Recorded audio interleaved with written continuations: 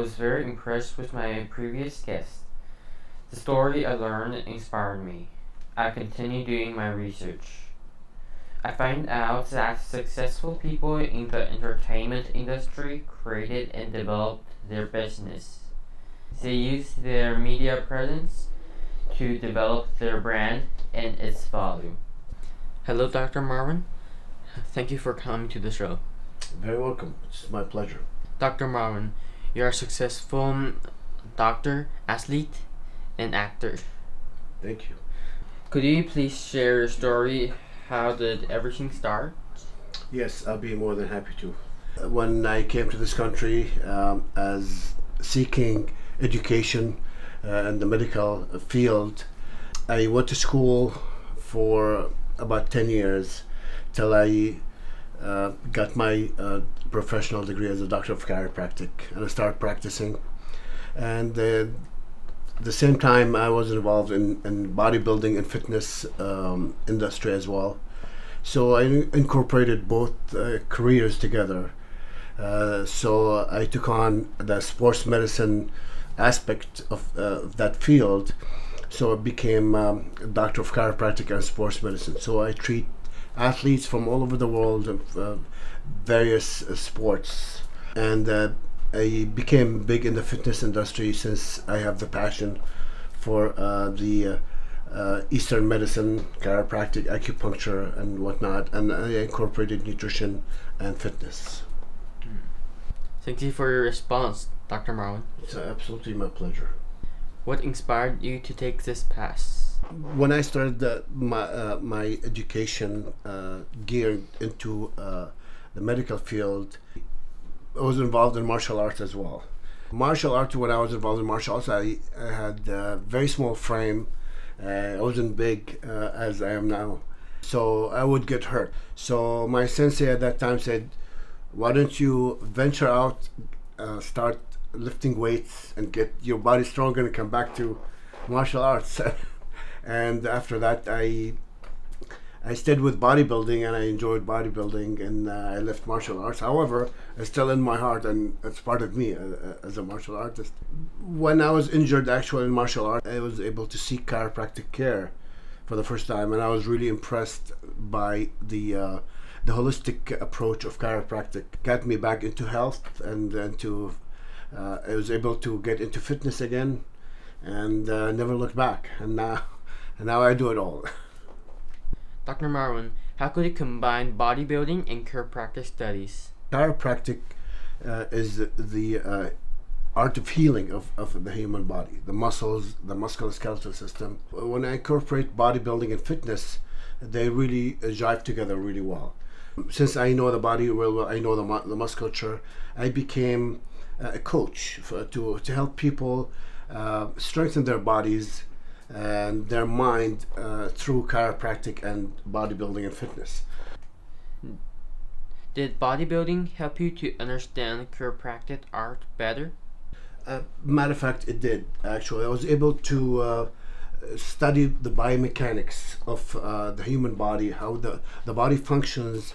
Chiropractic also uh, helped me in fitness and bodybuilding. So they both uh, really um, went together so I um, I never separate uh, both.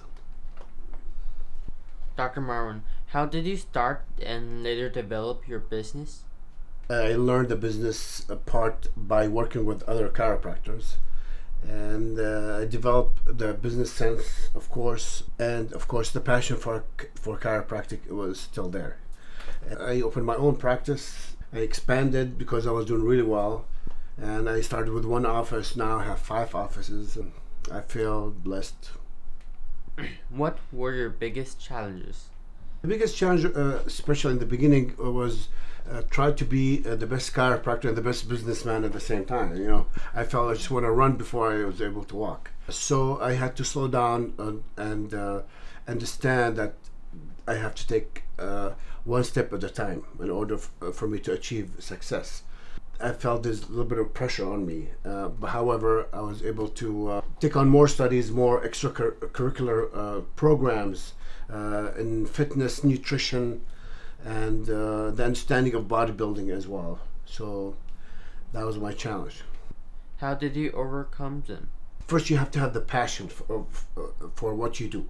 Doesn't matter if you're a doctor or a lawyer or any, or a business person. Uh, you have to have the passion that you like what you do. If you do that, then you can build on from from that. Many young people now they they they they see successful people in front of them and say, "I want to be you in a, in a short time," and it really doesn't work. You have to take uh, small steps in order to achieve really big success. My uh, my advice is to always learn. Never give up on education and learning to be a better person of course and a better uh, professional uh, and a, a, better businessman of course in order to achieve better success. What would you advise younger generations to learn about business? You have to always look uh, forward to um, become more successful and, and busier than what you are. So therefore um, by doing that, you become actually a role model for other uh, uh, professionals who see who they see you doing well, achieving your goals in, in, in a, a, timely manner, so they understand that you're doing something right. I always uh, go out and, and market myself. I sell my services, my professional services, and I introduce the world to what I do. And uh, by doing that, I tell them that uh, you know I am the best because why I have the passion for what I do, and I think I'm the best because I keep learning, and I'm a healer. So I like to heal people, and uh, before I think about financial aspect of success, I always think about how I can become a better doctor. What is your recipe of resolving the most difficult life and business challenges? Like I said, you never give up. You always think, hey, look, you know, there's the road is rough, but it's going to be smooth down the line. You never detour from what you do best is being a doctor, being a successful businessman. You stay focused. No matter what, you always stay focused. You never listen to uh, negative people who will tell you, ah, that's too much, don't do this, don't do that, you know, why go to school for that long?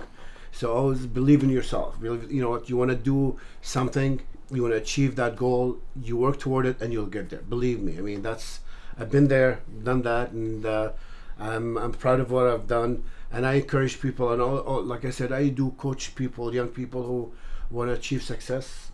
I'm always there, open for them for help of any any type.